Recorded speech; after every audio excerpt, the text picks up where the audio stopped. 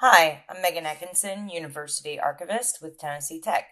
I'm here to share with you today how to search our website for digitized and paper materials. To start, navigate to the Archives homepage. To start research immediately, navigate to the Research and Materials page shown on the sidebar. From here, you reach a page with four headings. Each of these is a little different in its use. These search features will tell you what archives holdings are, but they do not necessarily give you full access to an item. Many times, this involves the insistence of the archives. The first listing is for finding aids and container lists. If you are unfamiliar with finding aids, in short, you can consider it a very large, detailed catalog record for the collection we have in the archives. The records are in alphabetical order, and if we look at the topics, we will find a brief description of the materials, as in the case with the Alpha Lambda Delta records. Each dropdown will open to a PDF that generally has a history, a description of the contents, and in many instances, a detailed list of what is in that collection. This research method is good if you know what collection you are looking for and if you would like to view all of the contents of an individual collection in an easy to view PDF. The second listing is only titled Search the Archives. This is not very different from a keyword search of a standard library catalog record. The link brings the user to a search term box and allows for some narrowing of the search. As most know, I'm a fan of cats, so we will just sample that word and see what comes back. In the archive collections at Tennessee Tech, we have eight listings for the search term cat. As we scroll these terms, you can see where these listings fall. The first is in the Eads collection, which makes sense. They were big cat fans. This is listed as a collection, so in this case, the term cat is listed at the collection level. The rest of the listings show item level descriptions as you can see where my cursor is. These show box and folder numbers, which is to show exactly where in a collection the material you are looking for is located.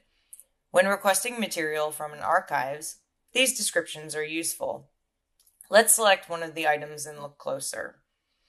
I'm selecting the item titled Sid McGee, Miss McDaniel with Cat undated, listed as being located in box 20, folder 196.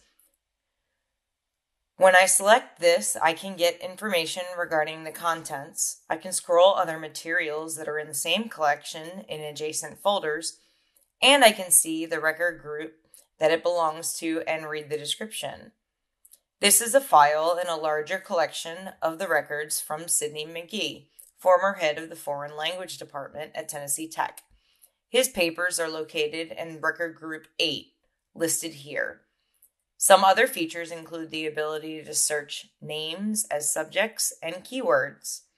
Note that this only searches words and terms that the archives provide. It is not a full text search of all the documents in a collection, and sometimes materials are not labeled the way an individual would expect them to be.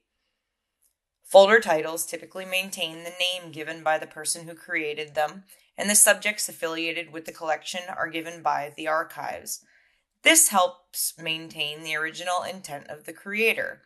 For instance, one congressman's papers listed some of the civil rights movements under crime. Maintaining this allows us to keep the creator's original intent, and when the archives provides the subject civil rights, it allows the users to find the materials even when the folder title does not indicate what they're searching for. The third heading is Digital Collections, which contain a selection of the archive's holdings scanned by archives or materials that are born digital. Unlike our other choices, this does contain the item in a ready to access format. The digital collections are rarely comprehensive. They typically include curated materials from select collections. If you're looking for a picture or something from Tennessee Tech's major publications, this is a great place to start.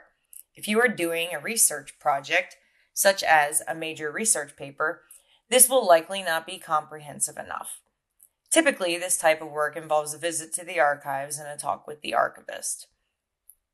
These materials are also text searchable. Not every item is fully described in detail because of the level in, of human intervention required. For instance, search 1918 instead of World War I, which is a topic that would need to be added by an archives professional. Digital items are arranged by collections. Records can include video, sound, photographs, websites, and documents. If we briefly look at the records of Joanne Clark photograph albums, we can see the albums. There is a download button on the top in the shape of an arrow. Some assets do not have a download button on account of copyright.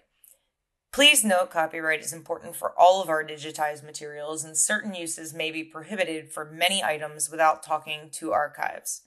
Some materials are large and may have a slight delay in display and download.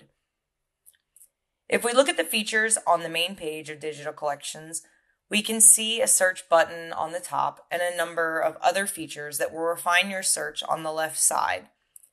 We can use the search football to see what items come up in the search engine. Textual items are typically text searchable, while photographs need to be described by archives. From here, there are a number of directions you can go. We can see on the left what collections the digital records are in, who created the records, the location, subjects, date, and contents. This will narrow your content when you are looking. If we return to the research page, the last entry, locating primary sources for research papers, provides links to external sites with archive collections and contents. There are a few things on the site that are helpful to everyone the casual research and a professional researcher. None of the listings include everything in the archives.